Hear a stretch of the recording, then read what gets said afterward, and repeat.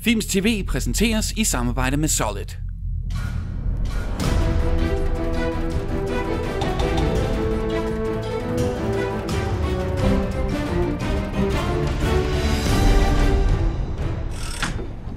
Why do you want to be a lobby boy? Who wouldn't? At the Grand Budapest, sir. And so my life began. Junior lobby boy in training under the strict command of Monsieur Gustave H. Many of the hotel's most valued and distinguished guests came for him. I love you. I love you. She was dynamite in the sack, by the way. She was 84. Mm, I've had older. This was also when I met Agatha. She's charming. She's so charming. Is he flirting with you? Yes. I approve of this union. I became his pupil, and he was to be my counselor and guardian. The police are here.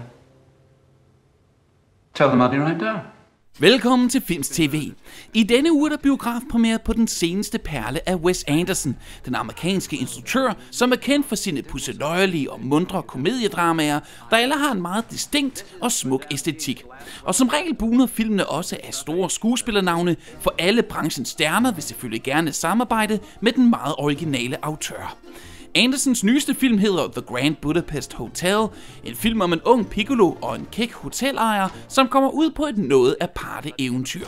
Og Films var så heldig at få lov til at interviewe både filmens unge og relativt ukendte hovedrollenhaver Tony Revolori, såvel som Andersen selv, der begge var taget til Danmark for at promovere filmen, som vel at mærke er den første Andersen-film, der foregår i Europa, og som er skudt i det gamle 4.3-billedformat, nøjagtigt ligesom de mundre stumfilm fra 1920'erne, som Anderson er blevet inspireret af.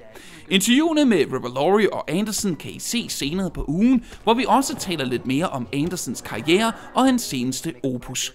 Men før interviewene slog vi et smut forbi filmens gallepremiere i Gran i København, hvor vi mødte alskens danske kendiser, som alle, ganske forståeligt, er begejstrede for Wes Andersons repertoire. Han er jo altså simpelthen en meget, meget spids, øh, mærkværdig filminstruktør. Ikke? Han komponerer sine billeder øh, sådan virkelig analt, vil jeg sige. Ikke? Altså helt ned til sidste næsehår vil han have, at det skal være fuldstændig symmetrisk og sådan. Så han er, det er jo lidt næsten som at gå på ud, kunstudstilling og se en film af Wes Anderson.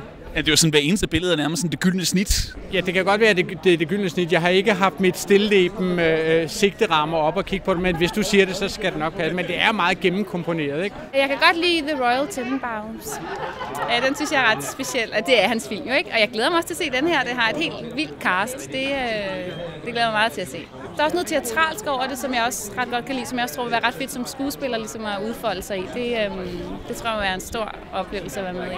Altså, jeg elsker Royal Tenenbaums. Det, øh, jeg tror ikke, nej, jeg, altså, jeg, jeg, jeg ved ikke, universet er jo bare øh, hans eget og skønt og inspirerende.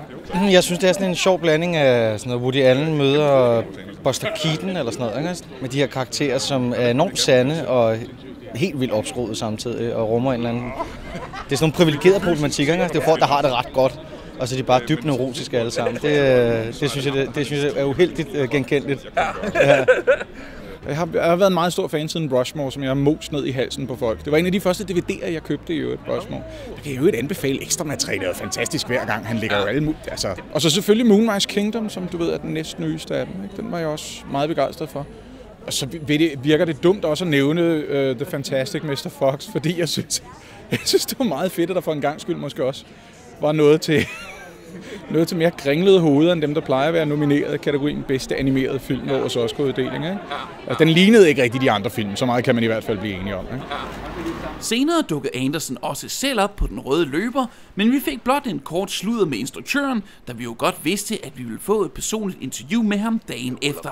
One of the things I really admired about the movie is that it's so the artistry of it is so incredibly beautiful. It looks like it's so meticulously crafted, but at the same time, it has this vibrancy, it has this tempo, it has this amazing energy to it. That, that almost seems like a contradiction in terms. Is that difficult to maintain? That is that a balancing act? Well, I think we should talk about it at greater length tomorrow. Okay. But um, uh, um, but um, you know, sometimes having something, uh, having a meticulously prepared situation gives an actor something to work with. And you know i feel like i try to like, kind of make a space for them to work and then encourage them to do whatever they want really. Um, so um, that's i think the part that's a key part of the process. Also with a movie like this everything was happening fast. Yeah. Um, and um, and you know, uh, I feel like that the actors can bring a real energy when they when they want to. So uh, with the, especially a cast like this. Yeah. I'd also just love to hear about working with the, the Academy ratio 1.43 to 1 because that's that's relatively new for you, right? Or is that but with Bottle Rocket you did it the, the original one? The original Black one, yes, yeah, But I've never done it with a feature movie, and I've always wanted to. Um, and it was great. It was very kind of free somehow. I don't know why, um, but um, it, somehow it felt like, you know what it is is. When you frame that way, what you tend to do is put more in the frame. It's not just you know, it, it's sort of like this becomes this, um, uh, you know, rather than the rather than the opposite, rather than pushing in. Um, so it, it, it, it ends it ends up being more complex to me. Cool. And Yeah. happily there won't be a pan and scan version. That's a that's a big plus. They won't have to. No. Yeah. yes. Yeah. Yeah. What's what's your name again? Uh, Johan. Johan. Okay. yeah. So, so I'll be seeing you tomorrow. I'll see you tomorrow Okay. again. Yeah, it's been a pleasure. Det var alt for denne gang på Films TV, men husk at vi er tilbage igen meget snart med endnu mere om Wes Anderson og The Grand Budapest Hotel. På gensyn. Husk at du kan finde alle vores tidligere Films TV-udsendelser på Films under Films TV-fanebladet og også på videovideo.dk i iTunes og via vores gratis video-video-app.